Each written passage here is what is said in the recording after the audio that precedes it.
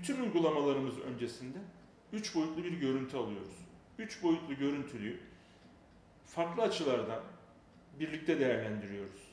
Bu değerlendirme sonrası neler düşündüğümüzü, neler yapılabileceğini hastamızla paylaşıyoruz. Onun onayı ve direktifi doğrultusunda uygulamayı gerçekleştiriyoruz.